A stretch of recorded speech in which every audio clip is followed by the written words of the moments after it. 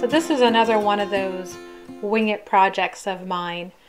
Um, I had been collecting the baby wipes that I use basically to clean up my messes or to remove any paint from canvases. Um, oftentimes I look at the wipes and I go, oh, that's so pretty. It looks like tie-dye.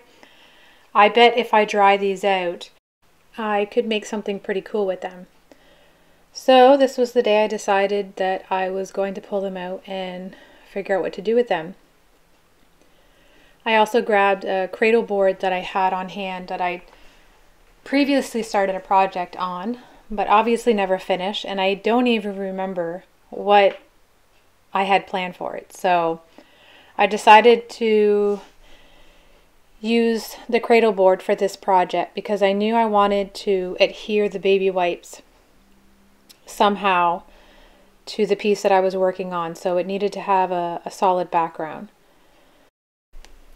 I didn't have a vision or plan for the final product, so this is something that I did in uh, basically a three-step process. I worked on it one day, I let it dry, put it aside, came back another day, and it took me three sittings before um, I finished it. And who knows, I may even come back to it again uh, in the future and work on it. But right now, as it stands, I'm happy with how it finished. So right now I just grabbed some of my modeling paste and I'm just putting that on the board and trying to arrange the baby wipes in a messy fabric-like way. I still wasn't sure if I was going to cover the whole board with baby wipes or just a few sections here or there. Um, I thought maybe, you know what, I'll just start, go with it, and hopefully find some inspiration along the way.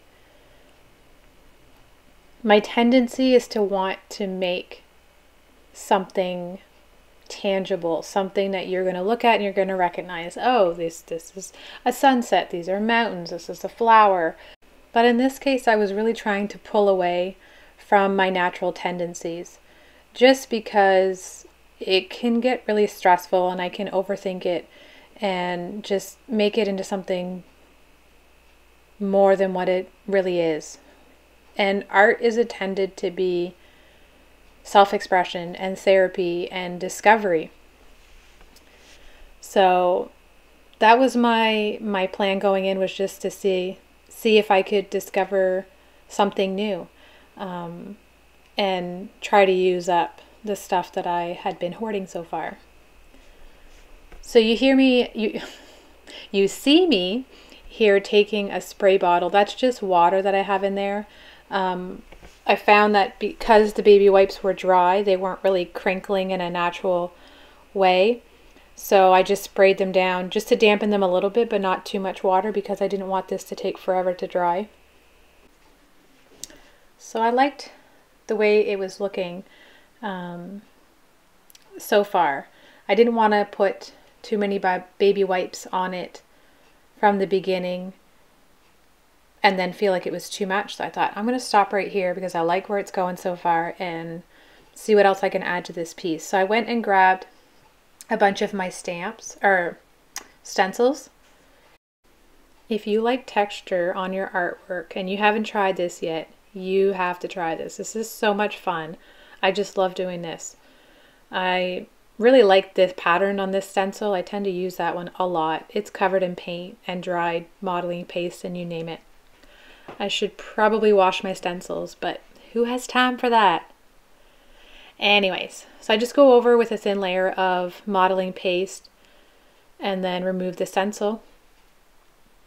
And that's pretty much it. You have to let it dry thoroughly.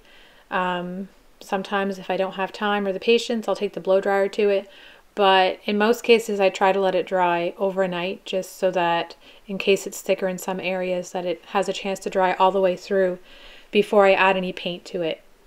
I usually go over with gesso first just to make sure that it creates that barrier from the paint and the water so that the modeling paste doesn't reconstitute itself. I then decided to go into my stash of hoarded materials to see what else I could add to this piece. and found this metallic leaf flakes that I just picked up from the dollar store. It's not something that I had worked with before. They're all tiny random pieces and I'm fighting just to get this container open. Yeah, I knew it would be a challenge to work with, but I didn't expect it to be that hard to get out of the package um, and even harder to get it down onto the piece.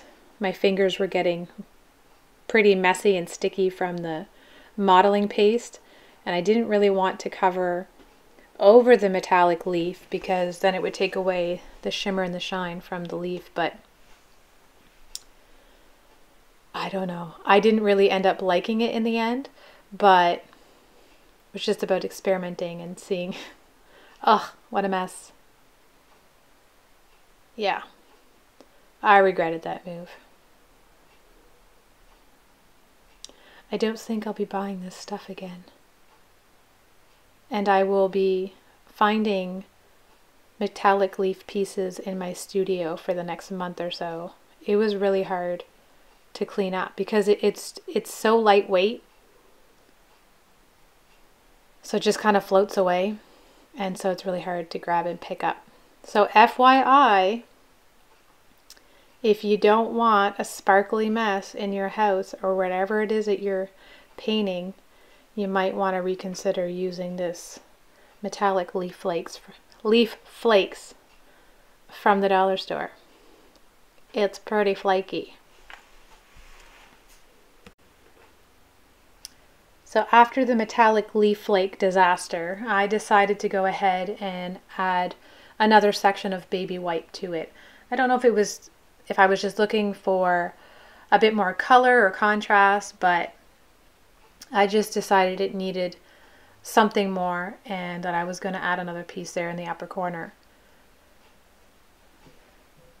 I wouldn't be able to do much more to the piece at this point because it needed to dry. The baby wipes were now damp from the spray bottle. The modeling paste underneath the wipes, I didn't know how long that was going to take to dry.